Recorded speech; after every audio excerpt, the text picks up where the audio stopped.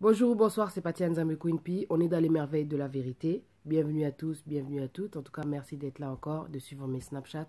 Que Dieu vous bénisse. Je vais finir le sujet sur la désobéissance. Je vais prendre deux points qui m'ont touché à un moment donné de ma vie. Et par la grâce de Dieu, je suis resté debout. Donc à travers ce témoignage, j'espère que ça pourra vous aider aussi. Tu vois, quand tu connais la parole de Dieu et que tu continues à vivre dans le péché, n'oublie pas que dans la parole, Dieu dit que le salaire du péché, c'est la mort. C'est pas parce que Dieu dit ne touchez pas à mes oins qu'il faut exagérer. Tu n'es pas immortel. Là, je parle de la cigarette, je parle de l'alcool, je parle de la drogue. Le salaire du péché, c'est la mort. La mort peut venir à travers une maladie, un AVC, une crise cardiaque, cirrhose de foie, un cancer. La mort n'est pas que physique. Elle peut être aussi spirituelle, comme je disais. Quand elle est physique, ça peut être ça y est, c'est fini, on t'enterre, ou alors tu deviens handicapé. Handicapé parce qu'avec l'alcool à l'excès et la drogue au volant, tu peux avoir un accident de voiture, te retrouver dans le coma, te réveiller et te retrouver handicapé. Il faut se mettre il mettre des limites. Toute chose a une fin. On n'a qu'une seule vie. Le salaire du péché, c'est la mort. Il ne faut pas négliger la parole de Dieu. Tu connais la parole de Dieu? Alors agis avant qu'il soit trop tard. Parce que Dieu t'aime. Il est lent à la colère. Mais quand sa colère va frapper, ça peut faire très mal. En fait, moi, j'étais adepte du whisky sec et de la cigarette. C'est-à-dire que si je buvais, il fallait que je fume automatiquement. Quand je buvais, ça me donnait vraiment envie de fumer. Et ce n'était pas seulement que quand je sortais. C'est-à-dire que de bon matin, du lundi jusqu'au dimanche, toute la journée, il fallait que je sois défoncé, il fallait que j'ai mes cigarettes à côté. La mort spirituelle. Si tu m'aurais vu, on aurait dit qu'il y avait l'esprit de mort sur moi. J'étais devenu moche, maigre, j'avais vieilli. Un jour, je me suis regardé sur une photo. À l'époque là où j'étais dans ces états-là, je me suis regardé, j'ai eu peur. Je me suis pas reconnu. J'ai eu trop peur. Mais quand on est jeune, on est insouciant. Surtout quand on est défoncé. On prend des décisions, on prend tout à la légère, on a l'impression que la vie nous appartient, qu'on contrôle tout. Il m'arrivait des fois quand je respirais, mon cœur me faisait mal, je sentais comme un pic. Ça commençait à affecter ma santé. Et là, c'est ma fille qui commençait à me parler. Quand tu négliges ce que Dieu te donne, la vie, Okoyukuta, tu en subiras les conséquences.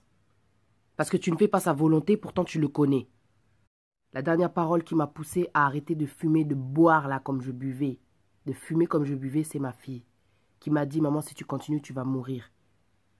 Parce que Dieu parle tantôt d'une façon, tantôt d'une manière. Ce qu'elle a dit, je ne l'ai pas pris à la légère. J'ai vraiment pris ça à cœur. Heureusement que j'avais la volonté. Et puis, vu comment j'étais devenue, il fallait vraiment que j'arrête. Même si à l'époque j'étais entouré de gens peut-être qui vont te critiquer, te pointer du doigt, se moquer, sans pour autant t'aider, sans pour autant te dire tu devrais arrêter. Donc des faux amis. Pour bango peut battre sentiment. Mais quelque part, quand ils voient quelqu'un se détruire, quelqu'un qui est pire qu'eux, en fait, ça les rassure, ils se sentent mieux. Ils se sentent supérieurs.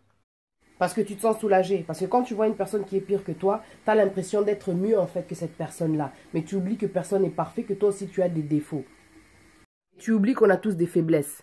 Et que forcément, là où tu es faible, il y en a un forcément qui est plus fort que toi. Sur ton point faible, là. Dieu est bon. Dans ma faiblesse, j'ai fait appel à Dieu, pas à un ami, pas à un membre de la famille, à Dieu parce que lui ne va pas me trahir, ne va pas me décourager, ne va pas me dire tu n'y arriveras pas. Hmm? Quand tu es prêt à arrêter, le diable voit. Et ceux qui se sentaient forts grâce à ta faiblesse, eux aussi y voient.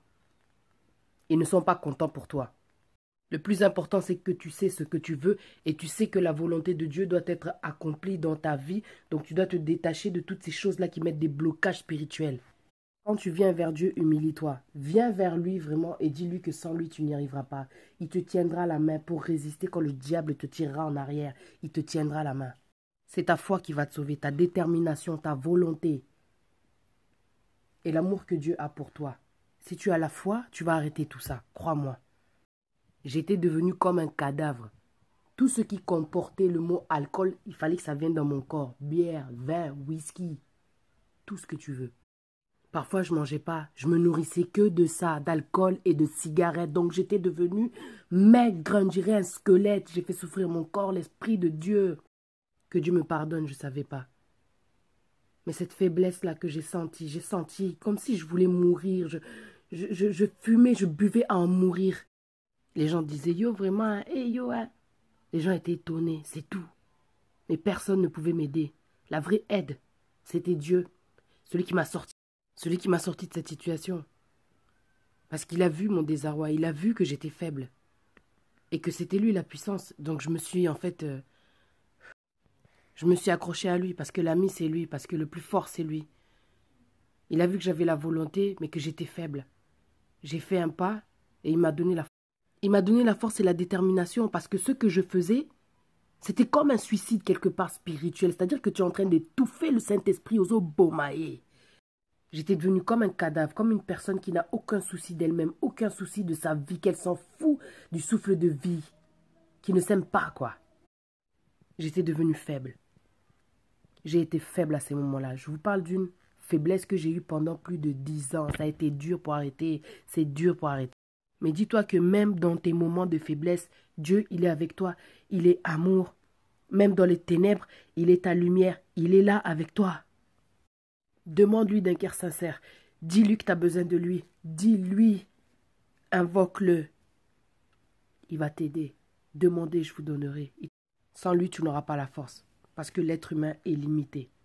Là où l'intelligence des hommes s'arrête, c'est là où Dieu agit. Dieu est ta force. Fais appel à lui.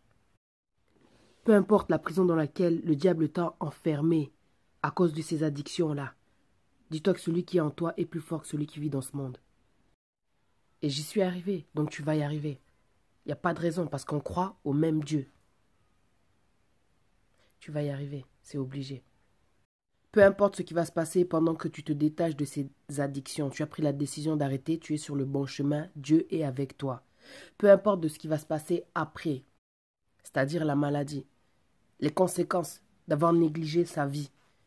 Le salaire du péché, c'est la mort, la maladie, mais Dieu sera avec toi, il te soutiendra. Parce que quand Dieu châtie, il châtie comme un père. Il est le père. Tu vois, dans ta faiblesse, dans ce qui t'arrive aujourd'hui, dis-toi que Dieu est avec toi. Il te donnera la guérison. Et c'est à travers la guérison que tu lui rendras gloire, que tu reconnaîtras sa bonté, son amour pour toi, la puissance qu'il a. Quand Dieu t'épargne de maladies ou d'autres choses, après avoir été addict, c'est une grâce. Je le remercie pour tout la désobéissance, faire les choses selon sa propre volonté. Dieu punit à n'importe quel moment, en son temps. Vous avez entendu l'histoire de cette femme qui avait volé un bébé à une époque là. 18 ans après, par la grâce de Dieu, elle vient de se faire arrêter là. Imaginez la douleur de la mère biologique. Elle venait à peine d'avoir son bébé. Il n'y a même pas quelques heures, une femme est rentrée et a pris le bébé. Elle s'est fait passer pour une infirmière. Elle est partie avec le bébé. Celle qui a volé le bébé était une femme qui priait. Elle allait à l'église, elle a bien élevé cet enfant. Mais la mère biologique pleurait, pleurait. Dieu ne dort pas. Peu importe si tu pries ou pas, quand le châtiment doit tomber, il va tomber. 18 ans après, la femme-là s'est fait arrêter. La mère biologique a dit qu'elle avait foi, elle savait que ce jour allait arriver. Elle savait que sa fille était toujours en vie. Que Dieu soit béni. Il est juste la désobéissance. Maintenant, je vais te parler d'un cas qui aurait dû me faire péter un plomb, me faire craquer, me faire devenir trop mauvaise contre les hommes. C'est un point que j'ai raconté dans mon témoignage, mais là, en fait, je vais donner quelques détails. Il est important de faire la volonté de Dieu. Quand j'ai rencontré le père de ma fille Chanel, tout de suite, l'esprit, Dieu m'a dit ne rentre pas dans la fille de ce garçon, mais j'étais dans la distraction. Je suis quand même allé. Relation très compliquée, on se sépare, on revient ensemble. En plus de ça, on a des rapports, on n'est pas marié, on ne vit pas selon la volonté de Dieu. Je comprends en fait au fur et à mesure que je suis avec un homme qui est adepte de l'infidélité. La jeunesse déjà. Entre-temps, je tombe enceinte, j'avorte parce que je me rends compte qu'il était trop tôt et qu'on était immature pour avoir un enfant. Parce que j'avais mon fils là qui avait que quelques mois en fait. Malgré ça, on se remet ensemble, mais en secret, il a tendance à revenir vers la mère de son enfant. Mais en fait, ça, c'est pas le plus important. Je vais en venir à l'essentiel. À un moment donné, on a même décidé d'habiter ensemble, mais ça n'a pas marché. Dieu me montrait qu'il vaut mieux la fin d'une chose que le commencement. Mais je persistais. Jusqu'à ça a pété, je lui ai demandé de partir. Il est parti direct chez la mère de son il est parti direct chez la mère de son enfant. J'ai fait presque un an sans lui. Le mec est revenu à une époque là où j'étais un peu distraite et tout et tout. Je continuais toujours de boire. Bam, je suis tombée enceinte. Durant la grossesse, au début, il n'était pas trop là. Vers la fin, du genre, tac, on est revenu, on a essayé, mais c'était pas trop ça. À l'accouchement, il était là, il a même coupé le cordon. Avant que l'enfant naisse, on avait déjà décidé du prénom. Chanel, en fait, c'est le mélange du prénom de sa mère et de son prénom à lui, au gars. Ça fait Chanel. Le deuxième prénom de ma fille, c'est Elonga, ce qui veut dire victoire. Donc on était d'accord sur le nom qu'allait porter ma fille, mais tout s'est compliqué le jour où on a dû faire le certificat de naissance. Arrivé dans le bureau, le père de ma fille, il s'est manifesté et quand on a commencé à donner les prénoms, il a refusé le nom Elonga. L'esprit de discernement que Dieu m'a donné, je l'ai regardé, je lui ai dit aux Andoki. On va pas parler de ça ici parce qu'on en a déjà parlé. Qu'est-ce qui va pas encore? C'est aussi mon enfant. J'ai le droit. J'ai le droit aussi de décider du prénom. Non, je veux pas Elonga. Si c'est comme ça, je déclare pas mon enfant. Je veux pas Elonga. Au fond de moi, ça a bouillonné, j'ai pété un peu. Donc, à télé, là, quoi. Kanda, donc je commence à m'énerver. Et lui qui disait, ouais, si c'est comme ça, je m'en vais. J'ai dit, si c'est comme ça, pars pour toujours. Pars pour toujours. J'ai dit à ma fille, prends les affaires de la voiture, on s'en va. Le mec du bureau m'a dit, écoutez, calmez-vous, on va prendre un autre rendez-vous, vous reviendrez plus tard. Les amis du père avaient essayé de calmer les choses et tout, mais rien à faire. En fait, lui, il voulait pas le prénom Elonga. Mais il y avait quelque chose qui m'avait dit, il faut télémer Ce c'est pas normal ce qui se passe. Le père de ma fille, du genre, il appelait ma sœur menace, quoi. Si ta sœur, elle appelle ma fille Elonga, je vais pas m'occuper de ma fille, même si on m'appelle irresponsable, elle, elle peut pas faire des pas faire des choses comme ça. C'est moi le père, je dois choisir. Je sais pas dans quel monde il a eu ces règles-là. Mais quand ma sœur m'a dit ça, j'ai dit à ma sœur, il faut côté lango ba prière avant le deuxième rendez-vous qu'on nous avait donné pour refaire un autre certificat du bébé. Le gars n'avait pas la paix. Il avait dit à ma sœur qu'à cause du prénom là, il était en colère, il n'arrivait pas à dormir, il se levait le matin en colère, il dormait en colère. Quand elle m'a dit ça, j'ai senti qu'il était tourmenté. Euh, juste à cause d'un prénom qui signifie victoire, non pas poubelle ou n'importe continuer mes prières. Entre-temps, je lui avais laissé un message. Je lui ai dit Ne laisse pas le diable te séparer de ton enfant juste à cause d'un prénom. Il a regardé le message, il a ignoré. Facebook déjà. Le jour J est arrivé. Je savais que Dieu avait entendu mes prières puisque j'avais eu ce verset qui disait J'ai entendu tes prières, j'ai entendu tes supplications. Je savais que j'allais rencontrer le père de ma fille. Je suis arrivé au bureau, j'ai vu personne. J'avais de l'espoir de le voir arriver, même à la dernière minute. Mais il n'est pas venu. Comme un vent. Donc un vide dans la pièce, il manque quelqu'un. J'ai rempli le dossier, on m'a donné le certificat de naissance, j'ai regardé la partie du père, c'est vide. J'ai eu comme un pincement au cœur, j'ai eu comme de la trahison, je me suis senti abandonné, j'ai eu tellement mal, j'avais de la rage, j'avais de la colère, même envers Dieu. J'ai dit, mon Dieu, pourquoi? Mais qu'est-ce que j'ai fait? Je regardais cet espace-là vide. J'ai dit, il n'y a pas de père. Et Dieu m'a dit, je suis là. Malgré ça, je souffrais, j'étais en colère, j'avais envie de me venger. Mais j'avais oublié qu'à la base, Dieu m'avait dit ne rentre pas dans la vie de ce garçon. Je n'avais pas fait sa volonté. Quand tu connais Dieu et que tu ne fais pas sa volonté, il va frapper. Ça va faire très mal, mais c'est pour ton bien. Un mal pour un bien. Mais je comprenais pas pourquoi je souffrais comme ça. J'avais tellement mal. Je me disais pourquoi est-ce qu'il rejette sa fille, pourquoi il a rejeté sa fille? C'est pas normal. Je disais à mon Dieu, je souffre trop. Je vais pas y arriver, je vais finir par faire du mal à quelqu'un. C'est trop lourd. Je comprends pas pourquoi ça se passe comme ça, pourquoi je souffre.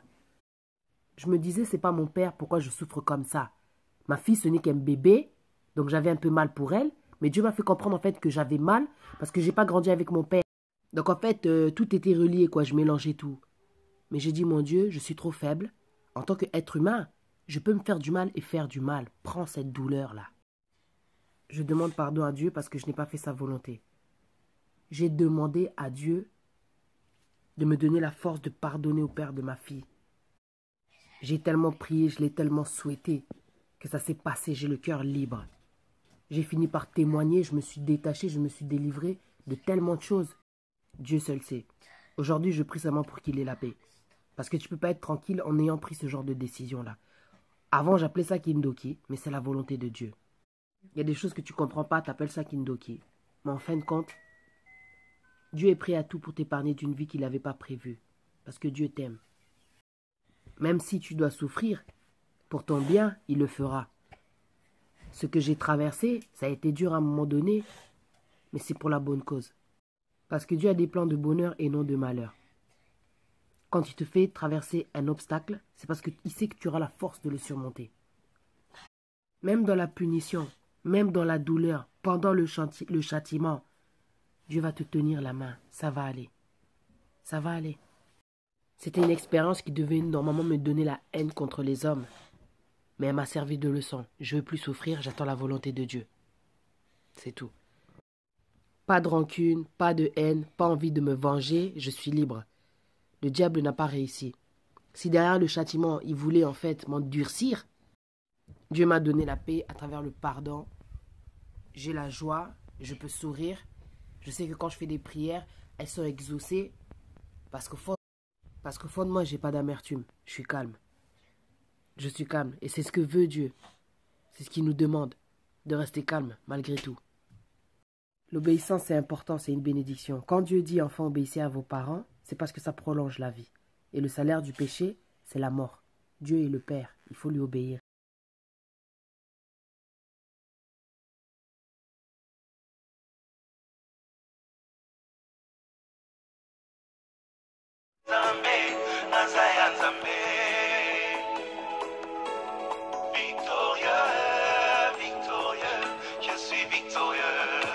Nabimi molongi elekeli mokili bakomi kotuna o. Naza ya libota nini moto lokola ngai. Fami na lola akaniseli ngai nabimi molongi elekeli mokili bakomi kotuna o